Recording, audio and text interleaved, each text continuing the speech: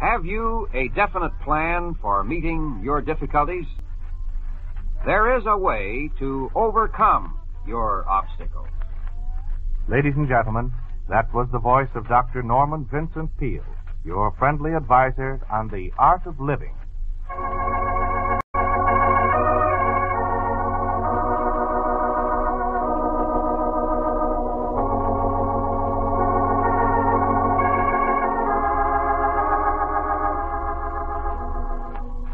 The National Broadcasting Company and its independent affiliated stations make free time available to present the art of living in cooperation with the Federal Council of the Churches of Christ in America.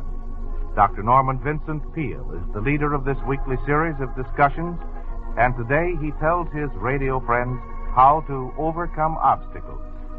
Dr. Peale's talk was transcribed earlier, especially for presentation at this time. If you wish to obtain a complimentary reprint of Dr. Peale's talk, do not hesitate to send a postcard or letter request to him in care of the station to which you are listening. Ladies and gentlemen, here is Dr. Norman Vincent Peale. Would you like to have a formula to help overcome and remove your obstacles? Here is one that worked for one man. Many others have tried it, and it works for them also. But let me tell you about it. The board of directors of a rather important industry had a project under consideration which involved considerable expense and some chances of failure as well as of success.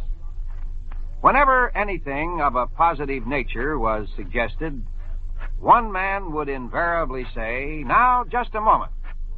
Let's consider the obstacles involved. Another man who said very little, but who was respected by all for his achievements and ability, and for a certain indomitable quality which always characterized him, presently spoke up and asked, Why are you constantly emphasizing the obstacles in this proposition instead of its immense possibility? Because, the pessimist replied, to be intelligent, one must always be realistic. And it is a fact that there are certain great obstacles in connection with this project. What attitude would you take toward these obstacles? The other man unhesitatingly replied, What would I do about these obstacles? Why, I would just remove them, that's all, and then I would forget them. But, said the other man, that's easier said than done. Have you any technique for removing obstacles and for forgetting them that the rest of us have never discovered? A slow smile came over the face of the quiet man as he said, Son, I've spent my entire life removing obstacles. If you want to know how to do it, I will show you. He then reached into his pocket, took out his wallet, under the isinglass window of which was a card on which were written some words. He shoved his wallet across the table and said, There, read that. That's my formula. The pessimist picked up the wallet and, with a strange look on his face, read the words. Read it out loud, urged the owner of the wallet. And this is what he read. I can do all things through Christ, who strengtheneth me. The owner of the wallet put it back in his pocket and said, I've lived a long time, and I've faced a lot of difficulty in my time. But I've discovered in those words enough power to remove any obstacle. He said it with confidence, and being a very remarkable man who had overcome many odds, his words were convincing to the men around the table. So they put their project into operation. And despite the difficulties and the risks, it turned out a great success. The primary thing about an obstacle is not to be afraid of it. Believe that God is with you and you have the power to handle it. So the first thing to do about an obstacle is to stand up to it and not complain about it or whine under it, but forthrightly deal with it. Don't go crawling through life on your hands and knees, half defeated, stand up and face your obstacles. You'll find they have haven't half the strength you think they possess. A friend of mine in England sent me a book by Winston Churchill.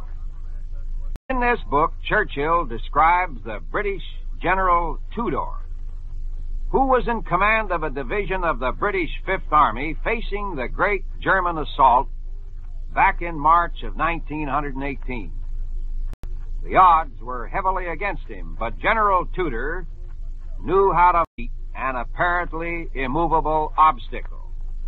He merely stood there and let the obstacle break on him, and he broke the obstacle. Here is what Churchill said about General Tudor. This is a great sentence worth its weight in gold. Here it is. The impression I had of Tudor was of an iron peg hammered into the frozen ground, immovable. General Tudor knew how to stand up to an obstacle. Just stand to it, that's all. And don't give way under it. You will break it. Use that formula which the businessman suggested, and you will develop a powerful faith in God. As a result, you'll get a great faith in yourself, in your own ability, in your own power to do things. Your attitude will become positive, not negative. And the old master touch will come to you as you deal with your difficulties. Take the story of uh, Gonzales, who won the National Am- Amateur Tennis Championship. It was a grueling battle which he fought. The sports writer, in analyzing Gonzales, said he had a marvelous serve and a skillful volley. But the thing that won the championship was his staying power, and the further fact that he was never defeated by the discouraging vicissitudes of the game. There's a powerful sentence for you. He was never defeated by the discouraging vicissitudes of the game. That made this man a champion. It'll make you a champion, too. Get some real faith, and you, too, will have staying power. You will never be defeated by the discouraging vicissitudes of the game of life. But you may say, well, that sounds all right, but you don't know my circumstances. I'm as far down as a human being can get. Well, in that case, really you are fortunate. For if you are as far down as you can get, there is no further down that you can go. There is only one direction you can go, and that is up. So your situation is quite encouraging. Try that formula of the businessman. Repeat it over and over to yourself. I can do all things through Christ who strengtheneth me. I'll guarantee it will work. To overcome your obstacles, cultivate positive thinking. That's the answer. Most of our obstacles are mental. Ah, you may say. Mine are not mental. Mine are real. Yes, but your attitude toward them is mental. And what you think about them very largely determines what you do about them. If you think you can't, then you can't. If you think you can by some strange law of the universe, then you discover that you can. If you have been defeated by an obstacle, it is probably because you have been telling yourself for weeks and months and even for years that there is nothing you can do about it, that you are bound to be defeated. You have so emphasized your inability to yourself that your mind has gradually accepted that conclusion. So, what you must do is to get a new mental slant. Become convinced of your own power. When your mind becomes convinced that you can, then you can remove your obstacles.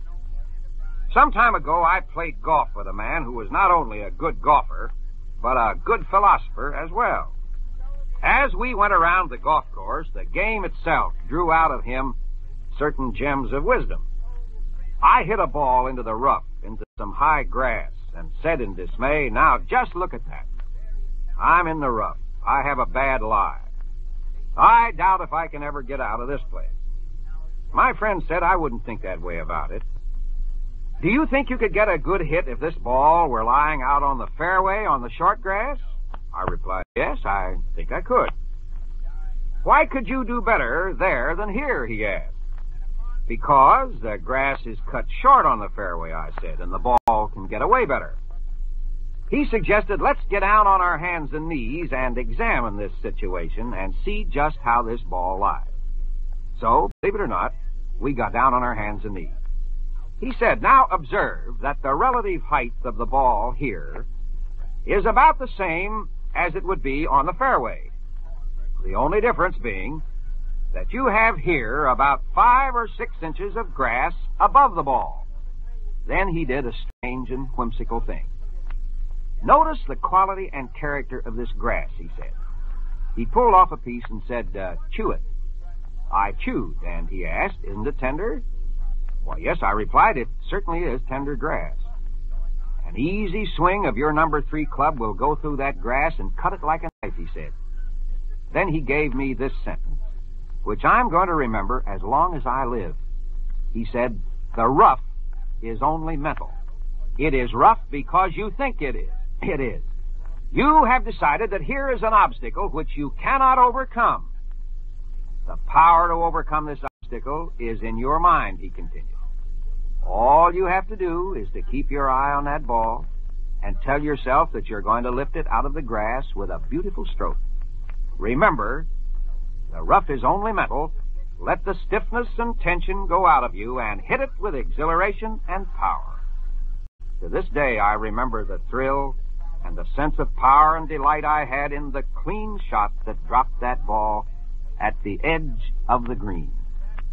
Now, in life, we get into many rough places, and we're apprehensive and discouraged, and we think we do not have power.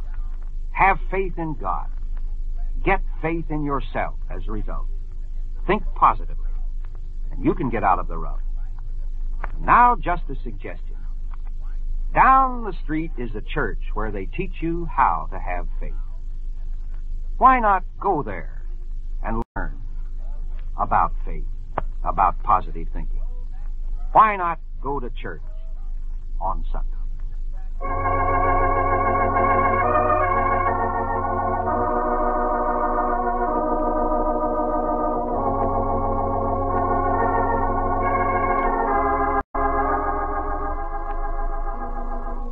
Ladies and gentlemen, another program in the series, The Art of Living has just been brought to you by Dr. Norman Vincent Peale, your counselor on solving life's personal problems by the application of Christian principles to everyday living. If you would like a copy of Dr. Peale's talk for future study, do not hesitate to write to him in care of your local station. George Crook is at the organ. This is Robert Denton speaking. Free time has been given by the National Broadcasting Company and its independent affiliated stations to present this program in cooperation with the Federal Council of the Churches of Christ in America and associated city, county, and state councils of churches throughout the nation and came to you from New York. Portions of the program were transcribed.